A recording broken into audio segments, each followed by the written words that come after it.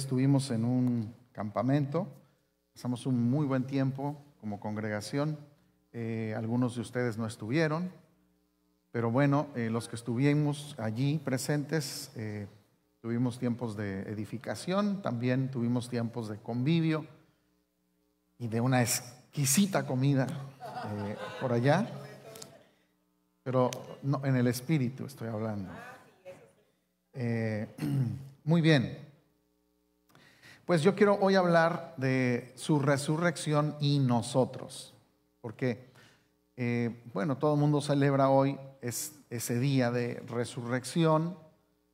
Eh, en realidad no sabemos si, si fue un domingo de lo que hoy conocemos del mes de abril o no, pero pues es irrelevante eh, el día exacto cuando Él resucitó del año. Eh, lo importante es, eh, es un hecho histórico, pero más allá de ser un hecho histórico, debe ser cómo su resurrección tiene un efecto en mi vida, en tu vida. Porque de otra manera es eso, un hecho histórico un acontecimiento pues eh, que sucedió, eh, un personaje que realizó una labor, eh, pero que simple y sencillamente no afecta nuestras vidas. Pablo dice en Filipenses 3:9, ser hallado en él. Él está hablando de su experiencia en el pasado, de todo lo que él había hecho como religioso, eh, judío, de todas las cosas que él había pasado y de cómo él había interpretado la vida y interpretado también a Dios. Y él dice, yo quiero ser hallado en él, no teniendo mi propia justicia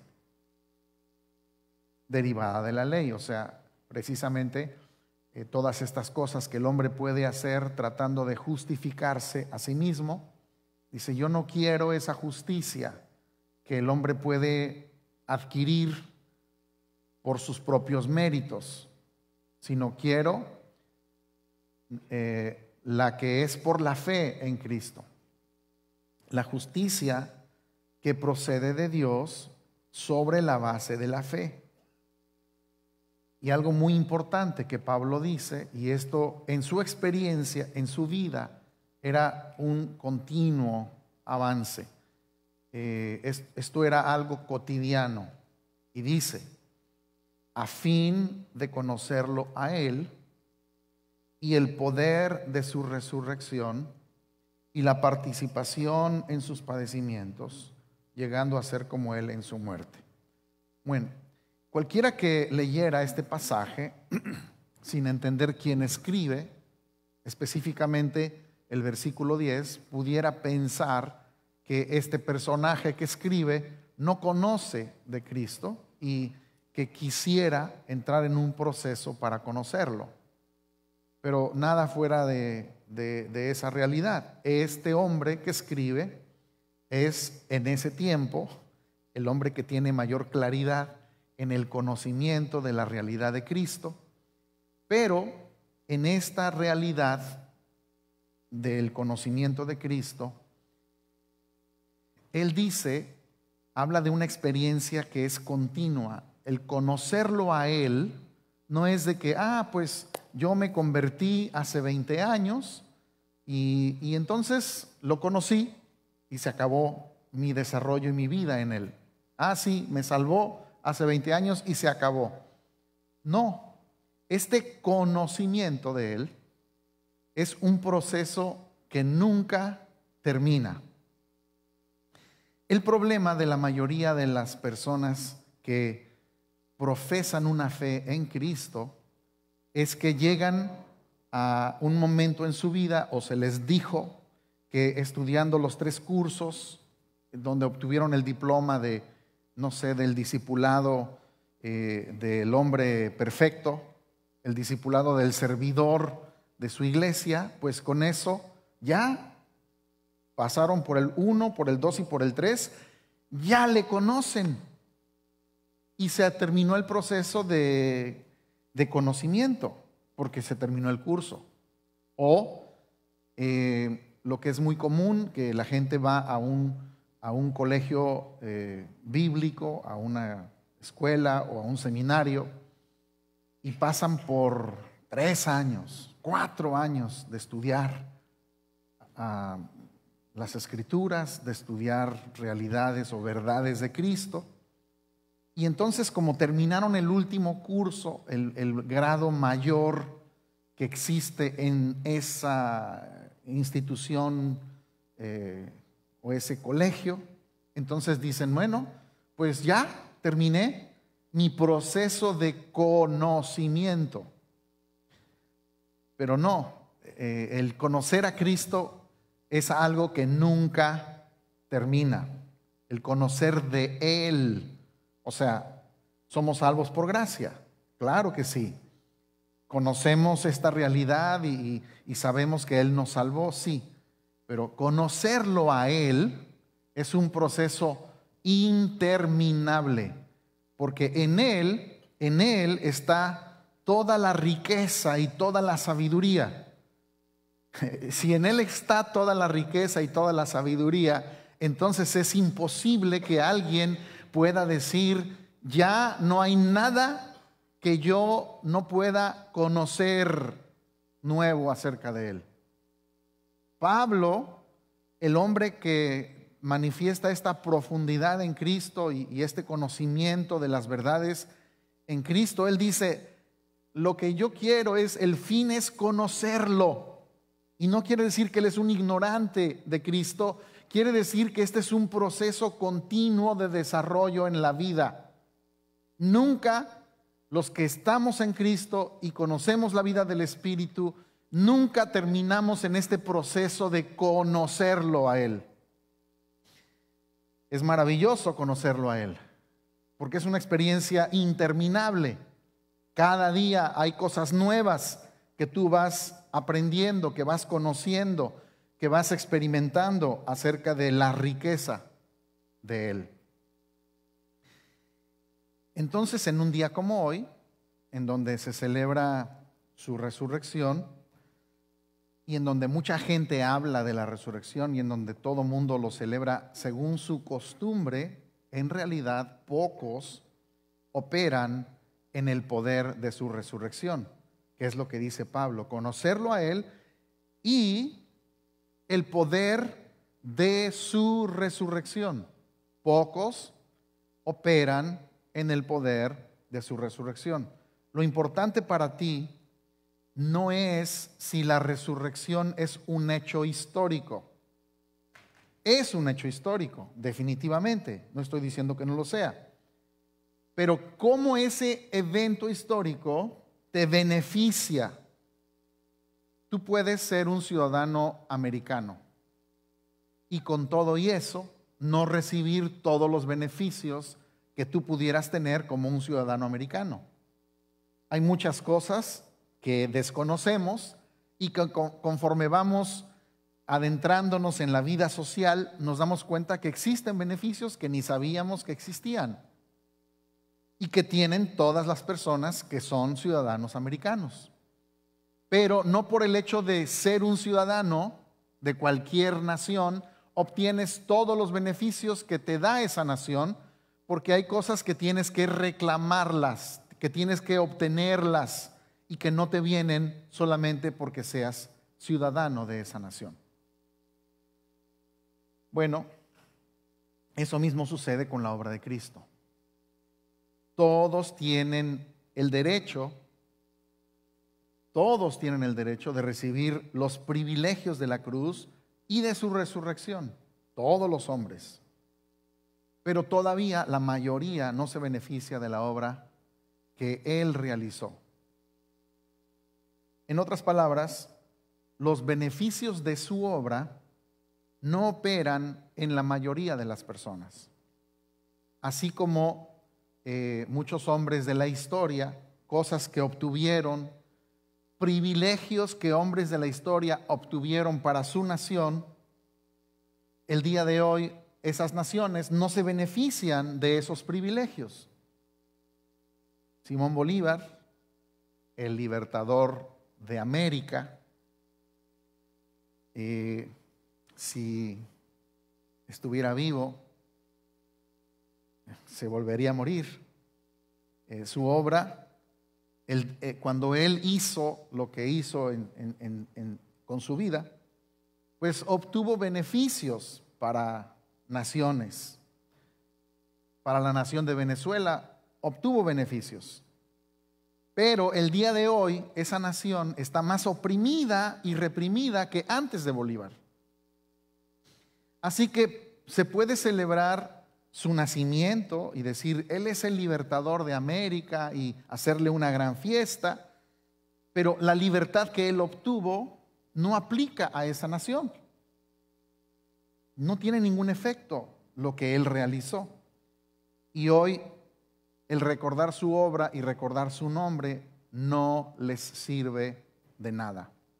Lo mismo puede suceder con la vida de Jesús, porque el hecho de que Él haya logrado una nueva realidad de creación y de existencia no beneficia al hombre a menos, a menos que el hombre haga una aplicación personal de ese logro.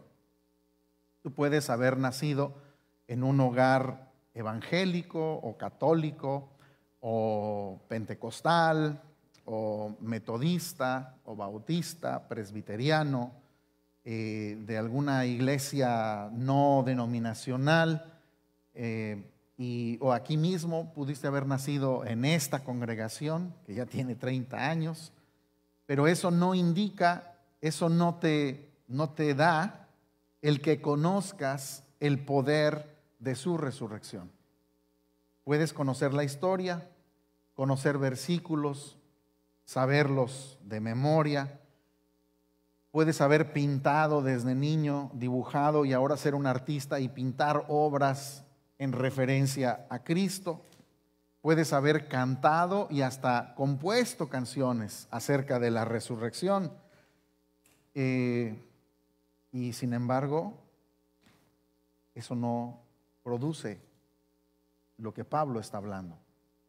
Puedes haber ido a servicios, a reuniones, a retiros en los días de resurrección. Puedes haber ido a, los, a las reuniones a las 5 de la mañana para ah, cuando está saliendo el sol celebrar el día de la resurrección. Y eso no te garantiza que conozcas el poder de su resurrección. Tú puedes estar aquí sentado, escuchando esto a través de los medios, escuchándolo vía CD o a través del Internet, y con todo y eso no conocer el poder de su resurrección. Todos estamos de acuerdo en que creer históricamente en Jesús no produce absolutamente nada. Hay mucha gente que cree históricamente que es un personaje, que sí, que existió, que vivió, que murió en la cruz. Pero el creer eso sin entenderlo no produce absolutamente nada. Su muerte, su resurrección y su ascensión en realidad no son solamente hechos históricos sino mucho más que eso. Él impuso en la tierra, con esos eventos, su muerte y su resurrección, trajo a la tierra una tecnología del espíritu, una realidad en el espíritu que no se conocía. Esa realidad, esa tecnología, habilita al hombre para transformar su vida a una nueva y esa nueva vida es similar a la de Él. De nada sirve que tú creas que resucitó eh, o que lo celebres comprando un traje nuevo para un día como el día de la resurrección, eh, cantando todos los cantos que te sepas de la resurrección, eh, poner huevos en el jardín, no esa costumbre, eso no cambia absolutamente nada la condición del hombre. Si no entiendes lo poderoso del el hecho de que Él haya resucitado, eh, que lo poderoso es que Él te hizo una nueva creación. En realidad, su resurrección, independientemente de los beneficios que produjo a la creación, en realidad no es tan poderoso. Porque sí, todo el mundo, wow, resucitó, resucitó, resucitó. Sí, resucitó. Pero eso no es lo poderoso, sino lo que produjo esa resurrección. No es que se haya levantado de entre los muertos, lo asombroso, sino qué es lo que produjo el hecho de que Él se levantó de entre los muertos. Entonces no se trata de creer históricamente en su resurrección, sino creer que tú resucitaste, que tú tienes vida por esa resurrección. La mayoría de las personas que dicen soy un cristiano o soy un católico o soy un evangélico. La mayoría de esas personas que se congregan los domingos y que cantan acerca de Jesús están esperando un día resucitar de entre los muertos. Pero no viven en el poder de su resurrección, ni tampoco en la manifestación de su vida. Y Pablo no estaba esperando un día resucitar cuando él muriera. Pablo decía, con él fuimos pasado, resucitados. Él entendía que él fue resucitado juntamente con Cristo. Eso es muy importante porque muchas personas están poniendo su esperanza en algo que va a suceder cuando lo que necesitamos es tomar lo que ya sucedió para que el día de hoy tenga un efecto en nuestras vidas. El poder de su resurrección hoy, hoy. La cruz garantiza el perdón de tus pecados. La resurrección garantiza vida eterna, que esa vida eterna es desde ahora. La cruz borra tu pasado, la resurrección escribe un presente que es el presente de la nueva creación. Eso no es en el futuro, señores, eso es ahora, cuando tú conoces el poder de su resurrección. La cruz te reconcilió, la resurrección te dio comunión con Él. En la cruz te hizo morir, en la resurrección te dio vida junto con Él. En la cruz venció tu pecado, en la resurrección venció tu muerte. En la cruz te compró, en la resurrección te perfeccionó. En la cruz mató tu carne, en la resurrección vivificó tu espíritu. En la cruz lavó tu conciencia de pecado, en la resurrección te dio conciencia de hijo de Dios. En la cruz mató al viejo hombre, en la resurrección le dio vida al nuevo hombre. Entonces, en la resurrección, lo que la resurrección hace es que garantiza, es la que establece el poder en la tierra de una creación nueva, de un nuevo orden en el hombre, de un hombre nuevo. Eso es lo que produce la resurrección. Entonces necesitamos nosotros la revelación de la resurrección.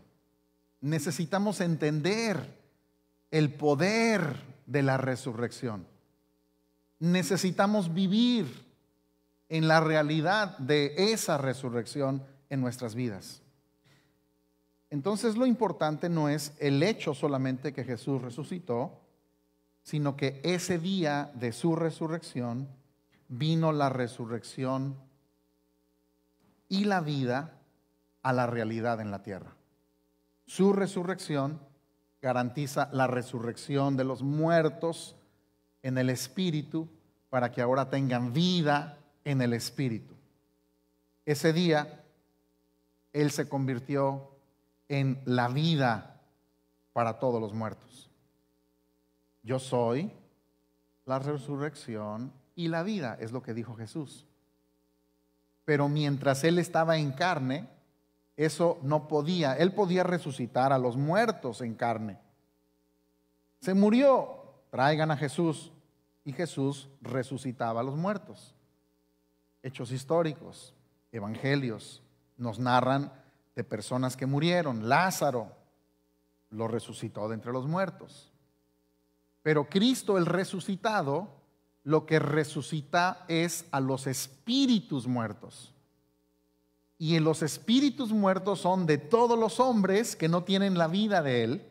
Y ese es el poder que Él tiene con la resurrección, que garantiza, que le da resurrección a no solamente a un Lázaro por aquí y a un Lázaro por allá, sino a todos los muertos, para que todos puedan tener vida en Él.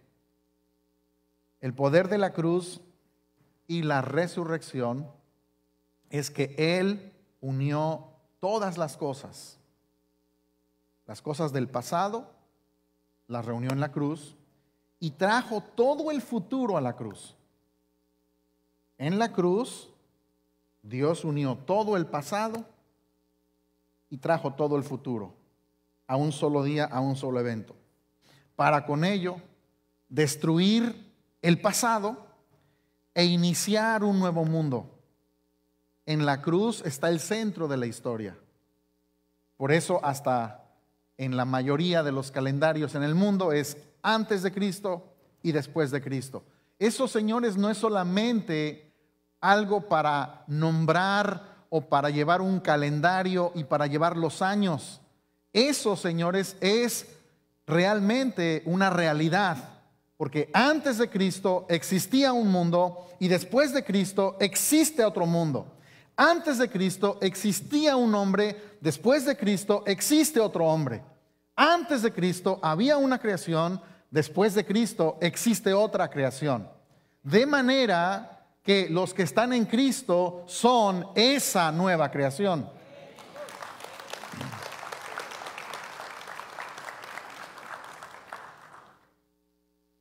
En la cruz, entonces está el centro, el pasado, y el futuro, lo alto y lo bajo, lo terrenal y lo espiritual, lo pasajero y lo eterno. En la cruz, Él tomó muchas cosas para convertirlas y transformarlas. Y quisiera, quisiera tomar un momento. Ah, tengo primero que poner tengo primero que poner mi, iPad por acá para que podamos escribir algo y que podamos ver todas estas cosas que Él creó nuevas y las nuevas realidades que Él produjo en el Espíritu. Vamos a ver si me da la clave. Ahí estoy. Excelente. Muy bien. Entonces, en la resurrección y en la cruz sucede que existe una serie de eventos que se producen nuevos. Desde, antes de la cruz, el hombre pues vivía una realidad. Él produjo un hombre pobre en todo sentido, Ahora nosotros poder tener la riqueza en todo sentido, la riqueza. Él produjo riquezas a las cuales ahora tenemos acceso, las riquezas del Espíritu que producen en la tierra una manera de vivir que manifiestan la riqueza del Espíritu. Esas cosas que están en el Espíritu para nosotros como herencia, esas bendiciones que Él ya produjo para nosotros en el Espíritu, son aquellas cosas que accesamos para producir en la tierra una manera diferente de vivir. Él convirtió al hombre improductivo a un hombre productivo. Si alguien tiene una plumita de esas para escribir en, iPad, se los voy a agradecer. Él tomó en ese tiempo una tierra, una tierra en maldición. Gracias. Una tierra en maldición. ¿Ven, ven cómo cambió mi, mi, ortografía? Eh, lo que me faltaba era esto. ¿Verdad que sí? Se nota. Gracias, gracias. Yo, yo sé. A una tierra, a una tierra bendecida.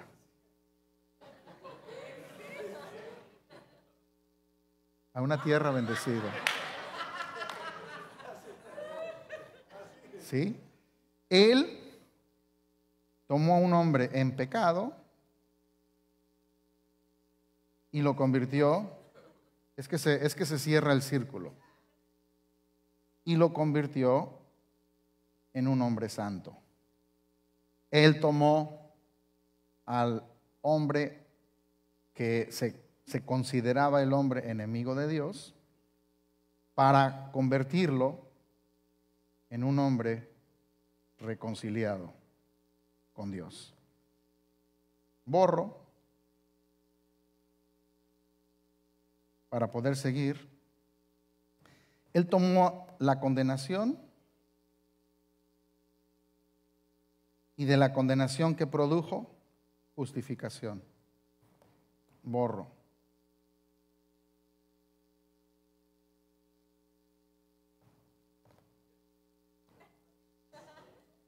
No importa. ¿Qué produjo? Culpabilidad. ¿Qué, lo transformó? En una conciencia limpia. Si no lo experimentas, es que necesitamos entonces entender el poder de su resurrección.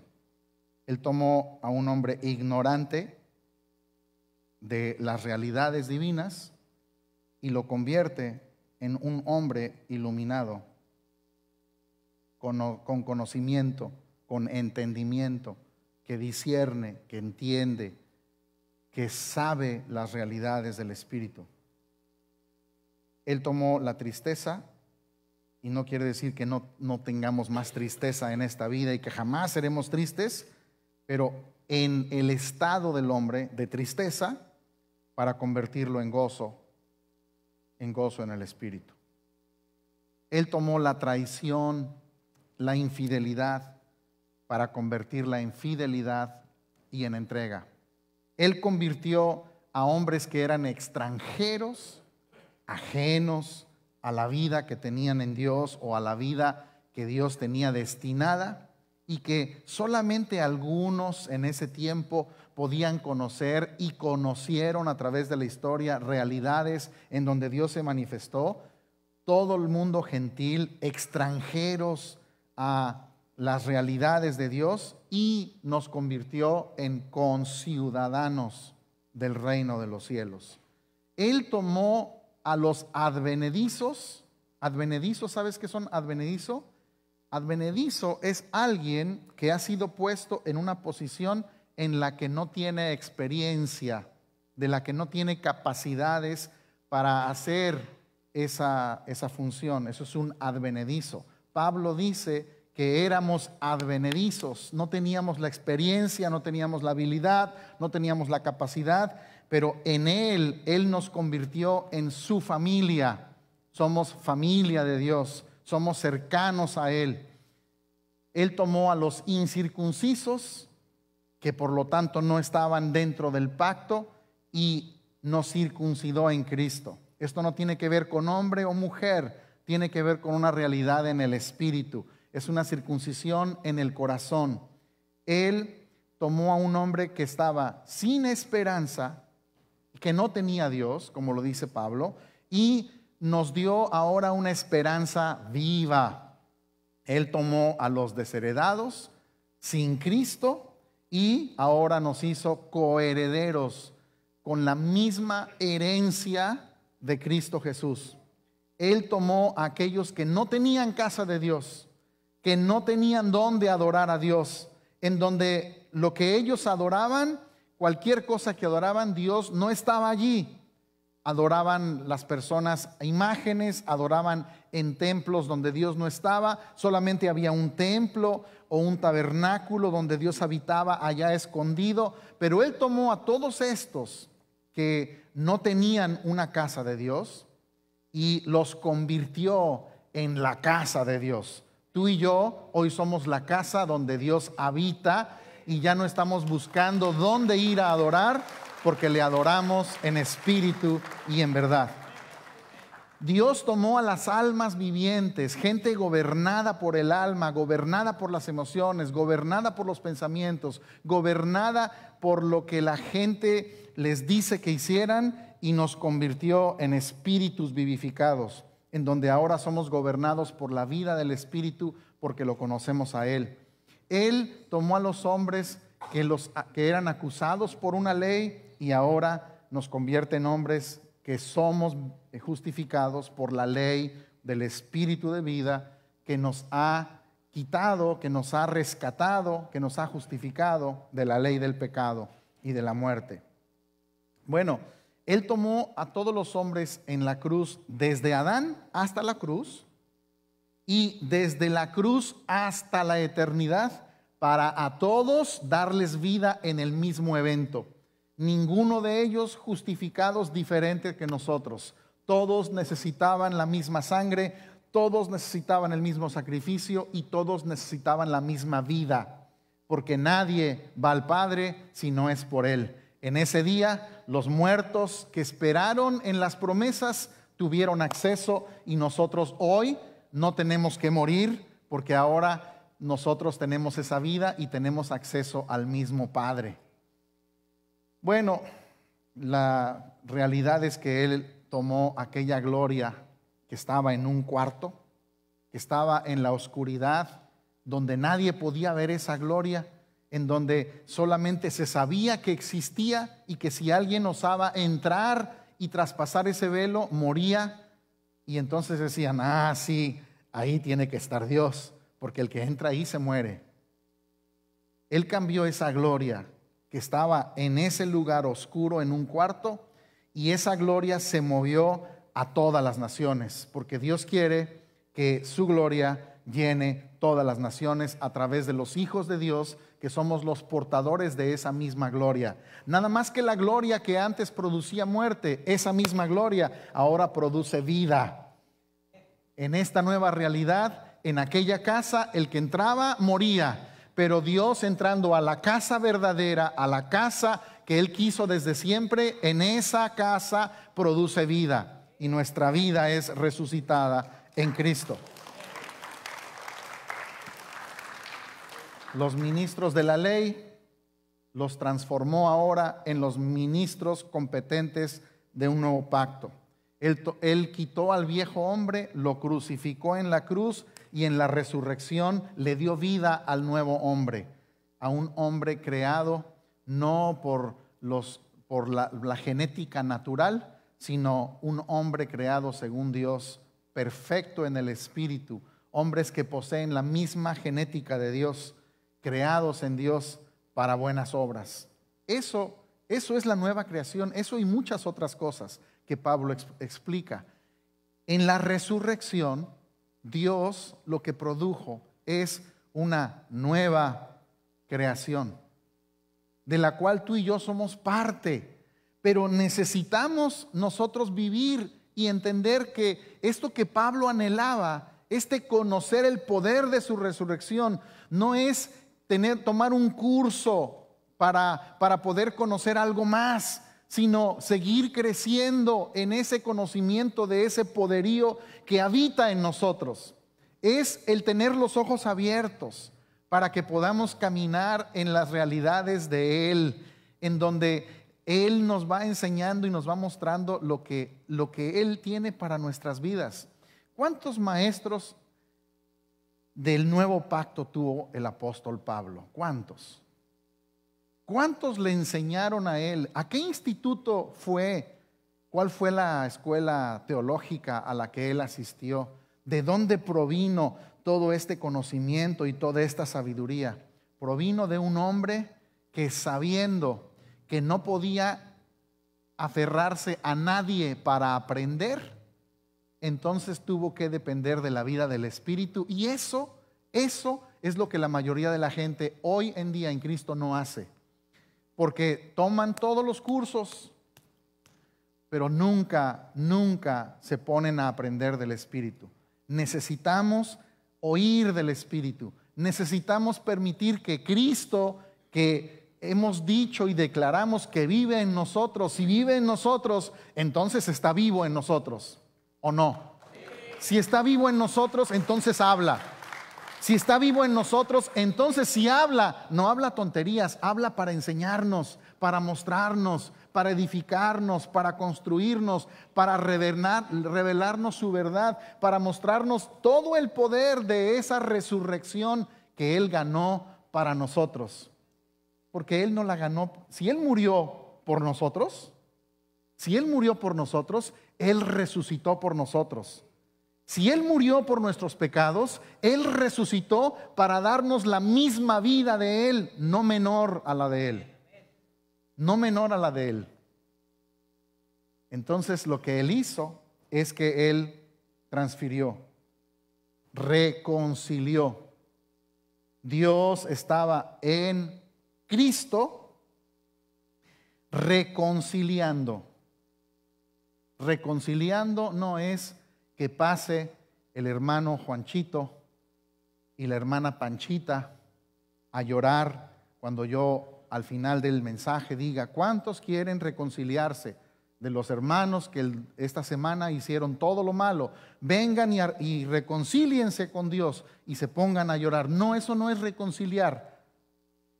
Porque hay gente que cada domingo dice que se pasa a reconciliar con Dios. Eso no tiene nada que ver con reconciliarse. La palabra reconciliar en el griego es poner a cuenta, es pasar de una cuenta a la otra. Es lo que hace la contabilidad cuando reconcilia. Es cuando toma de aquí para que esto de aquí esté acá. Y lo que hizo Dios es que Él estaba en Cristo reconciliando al mundo con Él. Él tomó a toda la riqueza de Cristo y toda la pobreza y toda la desgracia y todo el pecado y la condición del hombre para que entonces esto estuviera acá y esto estuviera acá. Por eso Él fue hecho maldición y fue hecho pecado, porque reconcilió al hombre con, en Cristo. Entonces Él tomó todo lo nuestro para darnos todo lo de Él. Él estaba, Dios estaba en Cristo reconciliando consigo mismo al mundo. Y todo lo de Él te pertenece por derecho. y todo lo que eras y toda la creación antigua se la llevó porque lo reconcilió. No es tu obra, no es porque lo merezcas, no es porque no es porque eres bueno, es porque él así lo quiso, reconciliar consigo al mundo.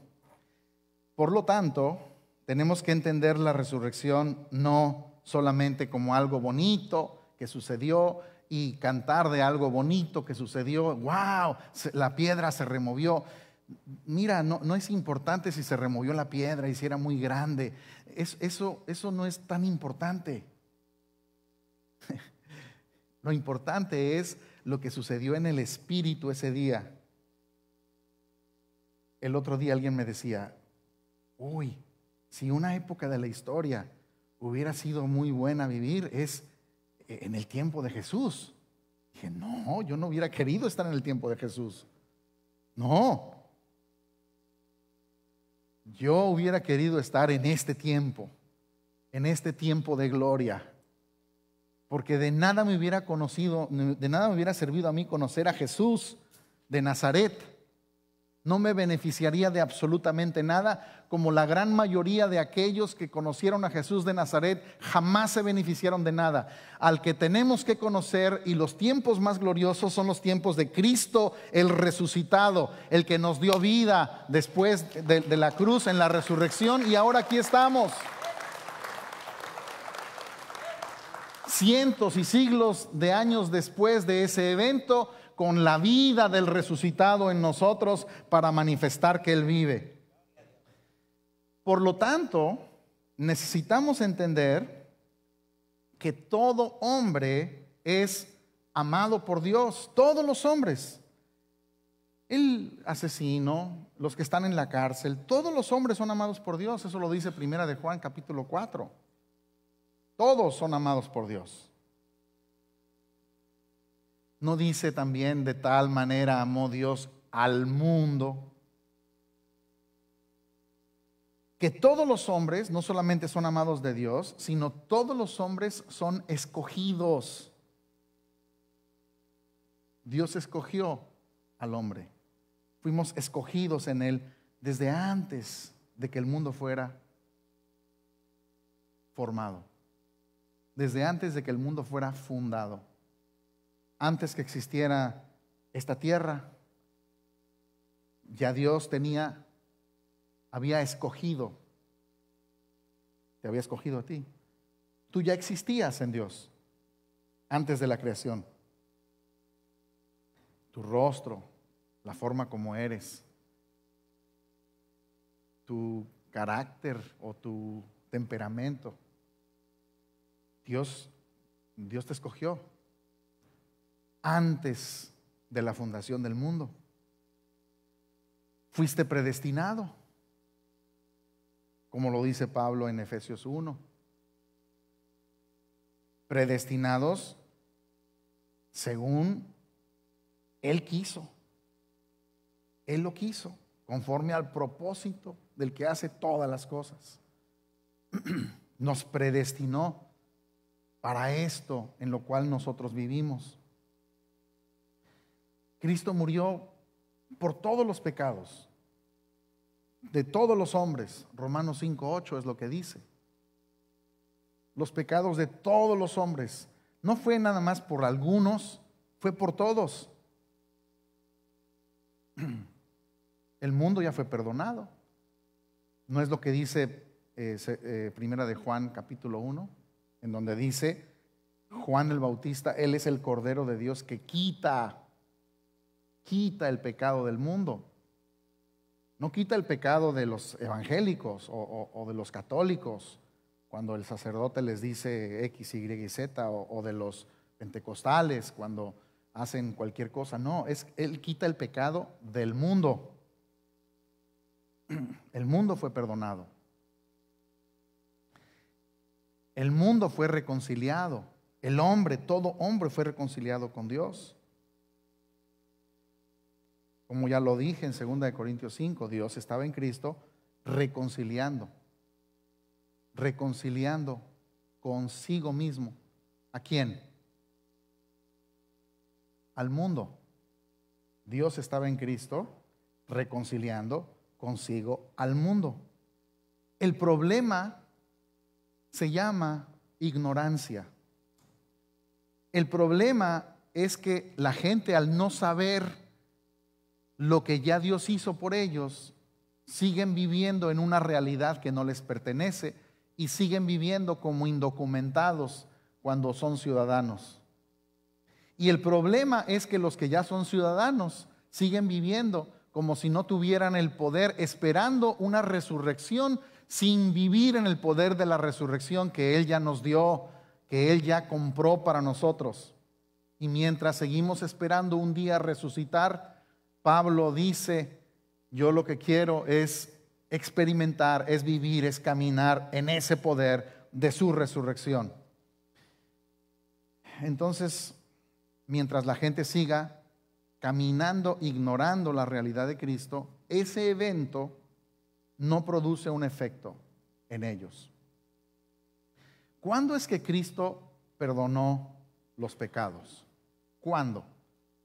Cuando tú un domingo o tú el día que fuiste a una reunión dijiste yo acepto a Cristo, ese día Dios perdonó tus pecados.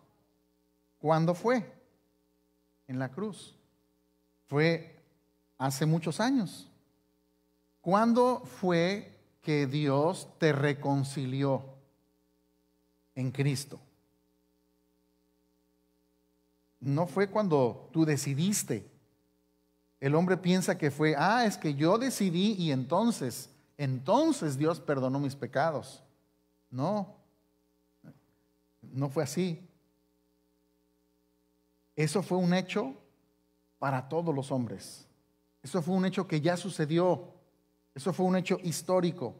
Pero la ignorancia de la obra, de la obra de Cristo, de la obra que Dios realizó, hace que el hombre viva en una realidad que no está de acuerdo con lo que ya Dios hizo por él. Eso es para los que ni siquiera saben de la obra de la cruz. El problema es que los que hay muchos que conocen la obra de la cruz, justificado y perdonado por gracia, pero no conocen el poder de la resurrección. Conocen a Jesús de Nazaret, conocen de la historia de Jesús, conocen que la cruz perdonó sus pecados, pero no conocen el poder que opera en ellos, el poder de la resurrección.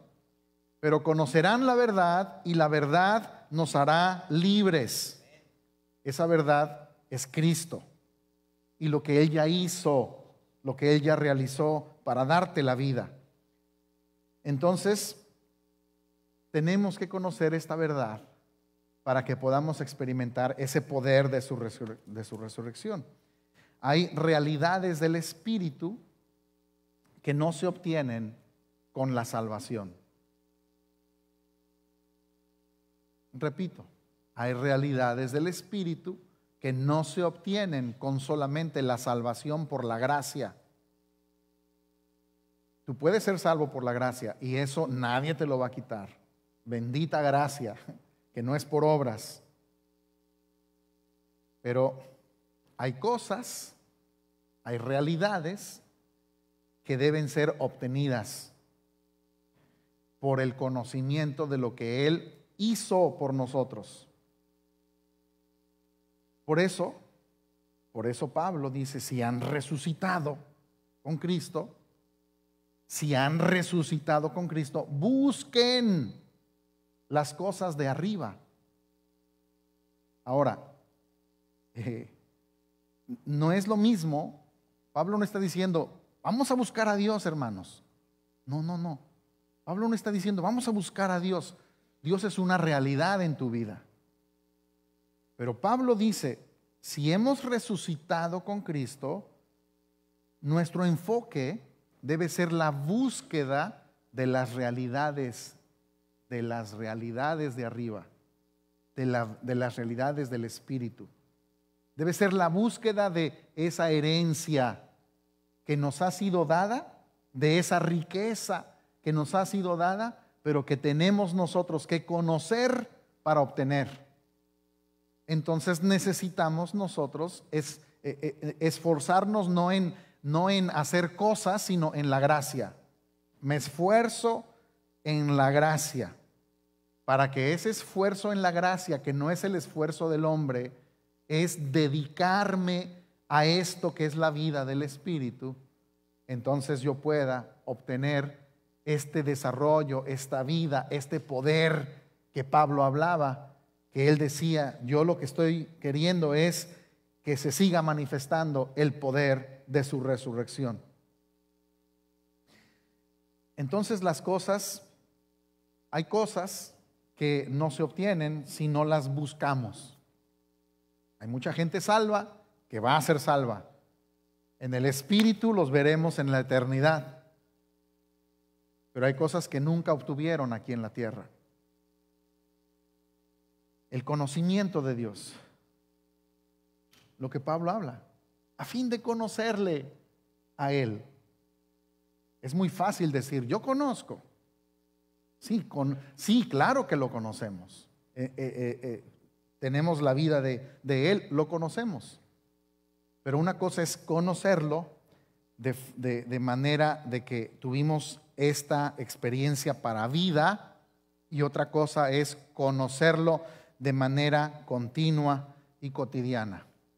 Cuando tú te casaste con tu esposo, con tu esposa,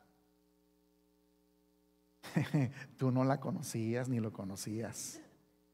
Aunque tuvieras tres años de novio, es una mentira. ¿Cierto, esposas y esposos? ¿Eh?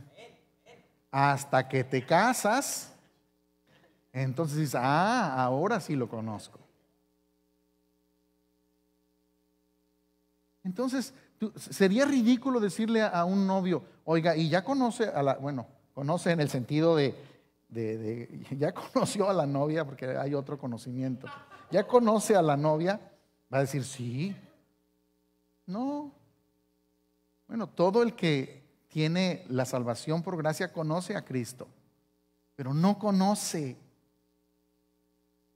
las riquezas hay que conocer, e, e, es, un conocimiento que es, nunca termina. Sabiduría de Dios nunca termina. La iluminación, la revelación, lo que el Espíritu Santo de Dios te va enseñando en las verdades de Cristo, es una interacción interna, es algo que tú vas conociendo, producida por el Espíritu, donde Él se encarga de mostrarte con una forma clara las realidades, las verdades que de otra manera nunca las vas a entender. Las realidades del Espíritu solamente pueden ser mostradas y enseñadas por el Espíritu. Los que ministramos la palabra, se requiere que el Espíritu Santo pueda, pueda aclarar en el hombre interior las realidades del Espíritu que de otra manera no se pueden comprender con la mente natural el crecimiento de carácter, el desarrollo de mi vida, las dimensiones de Cristo en mi vida, la plenitud del reino de Dios, las características del reino en mi vida. Todas estas cosas tienen que ser, tienen que ser desarrolladas por mi vida en Cristo y el poder de su resurrección. Por lo tanto, tenemos nosotros un reto, la búsqueda de las cosas de arriba. Es una acción de traer a la vida lo que se encuentra en el espíritu. Es como alguien que dice, tengo una mina de oro. Todos los hijos de Dios tenemos a Cristo, tenemos una mina de oro. Pero el hecho de tener una mina de oro no te, no te dice o, o no te da acceso al oro. Tú tienes y eres dueño, eres propietario por derecho. Ahí dice que eres dueño de tantas reservas de oro o de petróleo. En el caso de Texas es muy común. Tienes un terreno y ahí en ese terreno existe petróleo y está certificado que eres el dueño, tienes derecho a los minerales y eres dueño de tanto. Ahí está. ¿De qué te sirve, papá? Hasta que no lo extraes. Hasta que no lo extraes es que comienza a producirte un beneficio. Nosotros tenemos este tesoro en vasos de barro. Y hasta que no dejamos que fluya ese tesoro de nuestro hombre interior, no vamos a obtener la riqueza del poder de, resurrección. Que el día de resurrección deje de ser un día y que todos los días sea el día de su resurrección, porque todos los días experimentamos el poder de su resurrección, porque cada día Él nos habla y decimos, está vivo, me habló. Que cada día Él produzca en nosotros una realidad en donde diga, me enseñó, está vivo, me enseñó. Mientras no tenemos eso, seguiremos teniendo una salvación religiosa, aunque salvación, porque es por gracia, para que nadie se gloríe. Padre, gracias y pido que tu Espíritu Santo confirme, afirme, muestre las cosas que tenemos que hacer y que cada una de las personas que he escuchado sea animado a la búsqueda de las cosas de arriba, donde están todos los tesoros y toda esta riqueza que tú preparaste para nosotros. Que, entendamos que esta búsqueda de las cosas de arriba procede de dentro de nosotros, de la vida que depositaste, de la mente de Cristo que nos habita. Y te damos gracias porque yo sé que hay oídos abiertos y que hay personas que han sido inquietadas para poder realizar las funciones a las que somos llamados de las buenas obras en Cristo Jesús. Amén.